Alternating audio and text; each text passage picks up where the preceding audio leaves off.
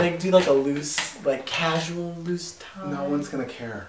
Hi, and welcome back to Gay Matt. It's Matt Palmer. It's Matt Steele! Yesterday, some good stuff happened. Very and, good stuff. Uh, gays can get married or something. Woo!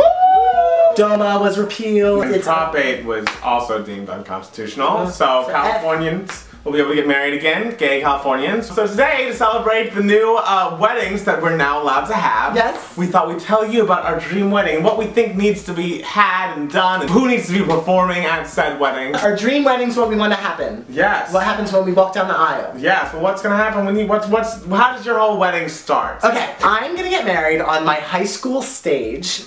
That is the stupidest thing I've ever heard. that just screams like I peaked in high school. And Carol Channing is gonna be the minister. It's gonna be a really short ceremony because you know who wants to sit through a long ceremony? Nobody. The actual reception is gonna be in my backyard in the home I grew up in in Jersey. There's gonna be some baked ziti. There's gonna be some fried chicken. There's gonna be meatballs. In my backyard, we're gonna have carnival rides and we're gonna have a petting zoo. It's like you were getting married in like third grade. This is the kind of wedding you'd want. It's fun. Everyone would love a carnival wedding. Because, like, no one likes, like, a reception where you just sit there. What would people wear? Would you be in a tux for this? Uh, maybe. I don't know. I'd be kind of hot. Everybody's gonna be invited. You don't need an invitation. You could just show up. It could be a Sound of Music themed wedding. I'm definitely gonna march down the aisle to the wedding music from the Sound of Music. I, I've never seen the sound of music. Anyway, Matt Palmer, what's your wedding gonna be like, and why is it gonna be so much better than mine? Please humor me with, Well, with your response. My wedding will be, I'm wanting it to be, it'll be live streamed on MTV.com. Oh. I want it to be in Madison Square Garden. So it'll be like kind of like an American Will and Kate situation, Oh. but like a little classier, a little bit more upscale. Like fans can buy tickets if they want. nice. But- How much would you charge? A lot.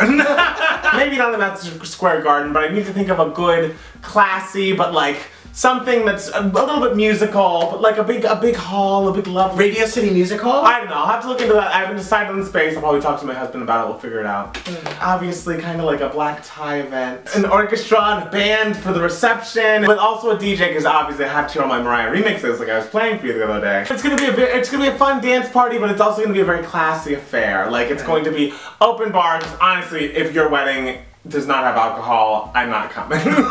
Because here's the thing, I don't drink. but that's fine. If you don't drink, you don't have to drink, but you should have options for your guests. I mean, I guess it's not gonna be the number one thing that I'm thinking about. no, but it should be an option. Can it be like BYOB? No! I'm giving them a freaking carnival. They can at least bring their own alcohol. But it's not like a third grader's birthday party. You want to like have this be like an event, a moment, something like you look back in the pictures and like you see people having fun, but in a classy way. Mine's gonna be classy because it's gonna be like all show tunes. A carnival, show tunes, Patti LuPone, Bernadette Peters, Carol Channing, me, my husband, which let's be real, will probably be you. No. Let's be honest with ourselves, No. we're probably gonna end up marrying each other. No, jeez. Oh, if that happens, I, my suicide note will be short. You would be so lucky to marry me. I don't Look how cute we look together, white and you know black tie. no. I want Natasha Bedingfield. I want Toni Braxton to sing. I want Mariah to sing at my wedding. It'll all it'll all match.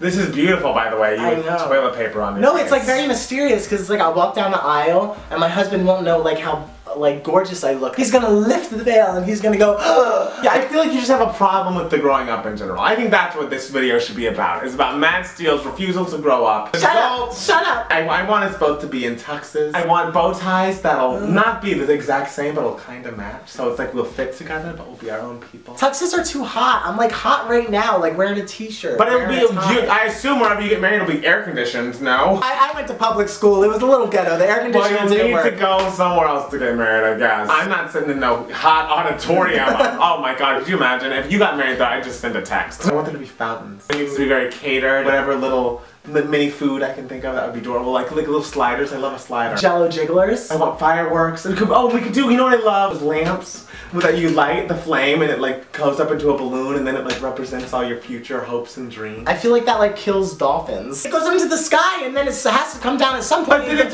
goes into the ocean. Mm. Fish die. No, we'll hire someone to pick them up afterwards or something. I, I, we're doing that and it'll be fine. I mean, I guess that's nice. It's but- beautiful. But I mean, like, I'd rather spend my money on like you know, like a petting zoo. Everyone will like it. Everyone loves a petting zoo. You love a petting zoo when you like have children who want to meet animals. You don't like it when you're an adult getting married and like not wanting to smell dung everywhere. Okay, well, let's have a poll. Would you rather marry me and have a wonderful, fun wedding where there's carnival rides and, and fried chicken and the petting zoos and Carol Channing, games, there's games, you could win prizes. Would you rather have that wedding or would you ha rather have just, you know, a regular wedding? It's not regular, it's a classy affair that you will get dolled up for. It'll be lovely, it'll be beautiful. I feel like everyone would agree that a wedding should be classier than a petting zoo. You can make a petting zoo classy. You could give the animals little bow ties. I would make the most fun husband ever. Oh, he'd be a handful. You would have a lot to say. Well, I mean, that too.